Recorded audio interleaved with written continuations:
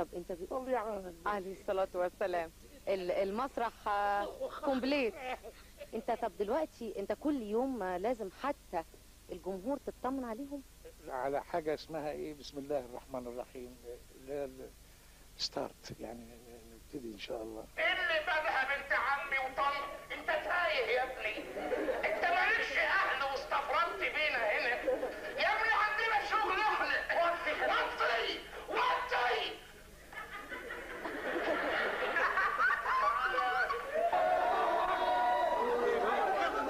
صل على النبي. كل سنة وأنتم طيبين. اللهم صل على النبي الله أكبر. كل وسلام. كل سنة وأنت طيبة بقى. وأنت طيب. آه أستاذ سيد إحنا بقى وإحنا في وسط جمهورك وأنت لسه خارج من المسرح كده ها؟ عايزين نعرف إذا كان في لحد من الجمهور أي سؤال يوجهه السيد زيان دلوقتي؟ اتفضل آه نسأل سي السيد إن جمش هواش من الممكن باش يزورنا في تونس في مسرح تونس كارتاج. حضرتك من تونس؟ آه نعم. آه. والله بالامس بالأمس قبل القيلولة قلت للقاعد نقابل القاعد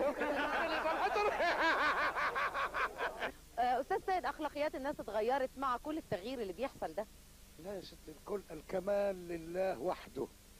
اتغير فينا حاجات لبسنا اتغير آه، فهمنا للأمور اتغير جوا يعني تبص تلاقي كل في ناس المثقفين يقولوا لك إيه؟